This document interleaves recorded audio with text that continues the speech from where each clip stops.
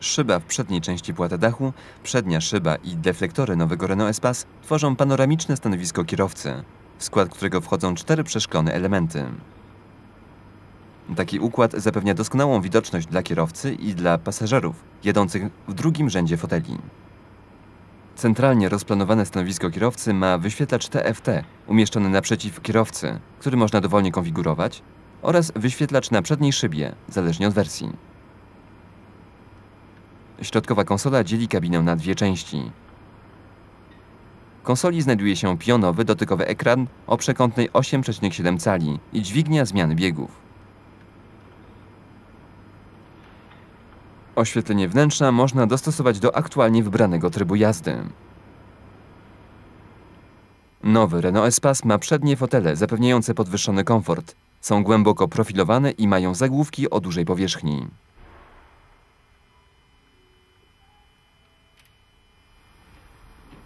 Zależnie od wersji, fotele mogą być regulowane ręcznie lub elektrycznie za pomocą przycisków znajdujących się po boku każdego fotela. Specjalny przełącznik zapewnia bezpośredni dostęp do menu Fotele na wielofunkcyjnym wyświetlaczu.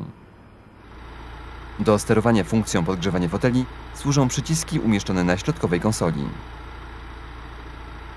Po włączeniu zapłonu naciśnij przełącznik wybranego fotela.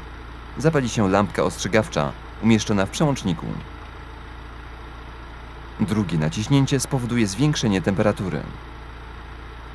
Trzecie naciśnięcie powoduje wyłączenie ogrzewania. System automatycznie reguluje temperaturę i wyłącza się, gdy zajdzie taka potrzeba. Funkcją masażu można sterować za pośrednictwem wielofunkcyjnego wyświetlacza. Wybierz fotel kierowcy lub fotel pasażera. Następnie typ, intensywność i prędkość masażu. Kierowca i pasażer mogą skorzystać z funkcji łatwego dostępu. Funkcja powoduje automatyczne odsunięcie fotela, gdy osoba, która go zajmuje, zacznie wysiadać z samochodu. Fotel automatycznie powraca do ustawionego położenia po naciśnięciu przycisku rozruchu silnika. Kierowca może zmienić położenie fotela pasażera za pomocą przycisków sterujących własnego fotela. Jest to specjalna funkcja regulacji grzecznościowej.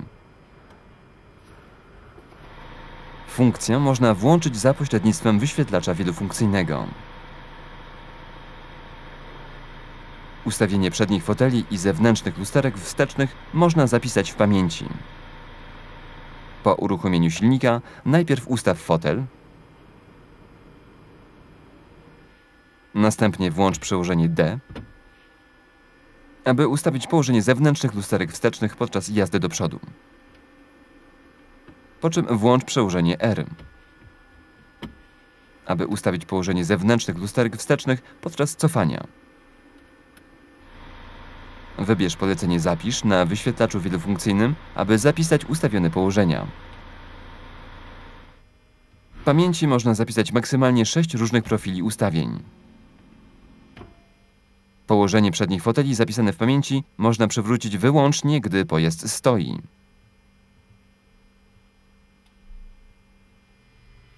Regulacja wysokości i głębokości kolumny kierownicy pozwala na optymalne ustawienie stanowiska kierowcy.